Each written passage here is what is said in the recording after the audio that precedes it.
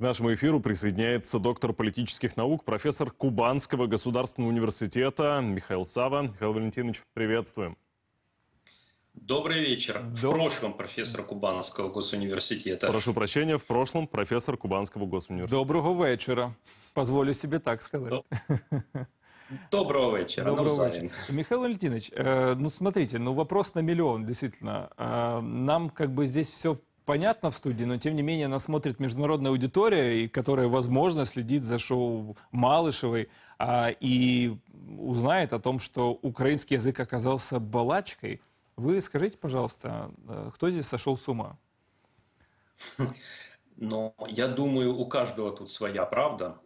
Кубанская балачка – это диалект украинского языка. Тут нет никаких сомнений. Но в то же время нужно понимать, что для людей, которые сейчас живут на Кубани, а я сам оттуда, э, кубанская балачка с Украиной не ассоциируется напрямую.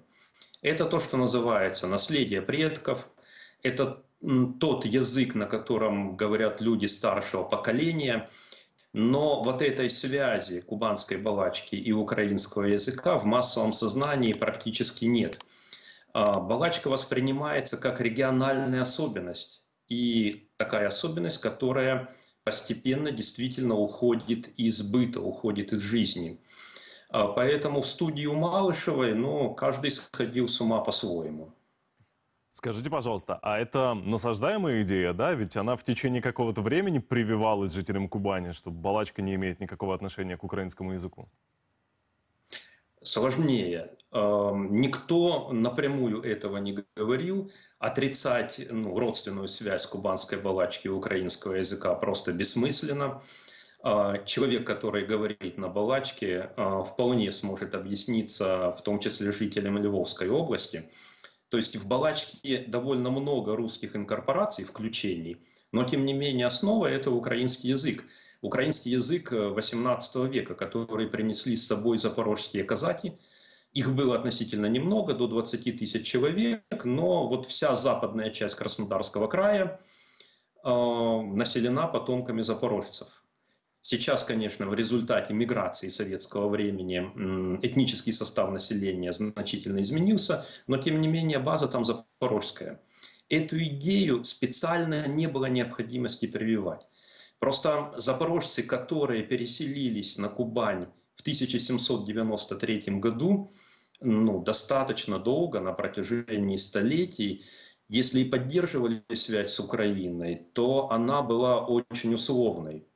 И вот каждый год из этих более чем 200 лет был годом э, постепенной русификации. Поскольку эти люди жили сначала в Российской империи, потом в Российской Федерации, э, точнее потом в Российской Советской Социалистической Республике, потом в Российской Федерации. Они жили э, в русском окружении. И, безусловно, их самосознание менялось, их культура тоже менялась, и менялся их язык. Был период действительно очень важный и интересный, так называемой коренизации с 1926 по декабрь 1932 в Красно... точнее, Краснодарского края тогда не было, на Кубани, которая входила в Северокавказский край, более крупный по размерам. Преподавание велось на украинском языке. Даже высшие учебные заведения э, переходили на украинский язык. Ну вот такая личная история. Старший брат моего отца, он был старше на три года, но он учился еще на Кубани на украинском языке. И до конца жизни он выписывал не а, московский крокодил, а киевский перец. То есть он предпочитал читать на украинском, ему так было легче. Но отец уже учился на русском языке. Э, В декабре 1932 года знаменитое постановление об украинизации, которым было предписано э, очень быстро все перевести на русский язык. Это, конечно, было исполнено, но и с тех пор эм, от украинства на Кубани осталось, в общем, немного. Скорее традиция, чем жизнь.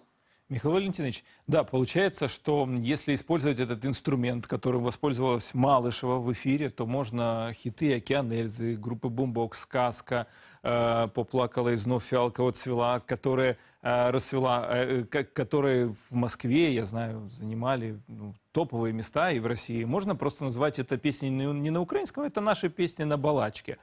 Но это, получается, стопроцентная политика. А на каком этапе здесь произошла подмена понятий? Вы для себя заметили? А, здесь произошло следующее. Есть диалект украинского языка, есть украинский язык. И э, это, безусловно, можно использовать в политических целях. Да?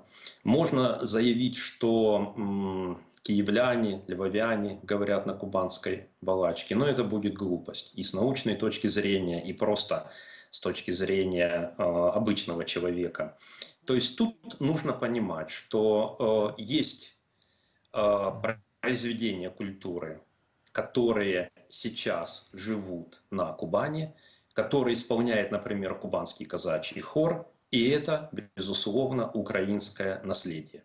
Но это именно наследие, то есть это то, что исполняют на концертах, но то, что постепенно уходит из жизни. Ну, а политизировать можно все, что угодно.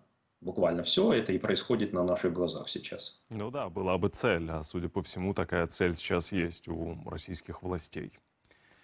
Да. И к чему это может привести? Да, какие настроения сейчас, например, на Кубани в отношении Украины? Эм, на Кубани настроения слабо отличаются от настроений в целом по России. Я бы сказал, что там есть такой негативный фактор, как а, политическая роль лидеров казачьего движения. Она, безусловно, про московская, она, безусловно, пропутинская, она такая квазипатриотическая. И возникает такая парадоксальная ситуация. Потомки украинцев, которые когда-то переселились на Кубань, сейчас являются, ну скажем так, наиболее активными рупорами борьбы с Украиной.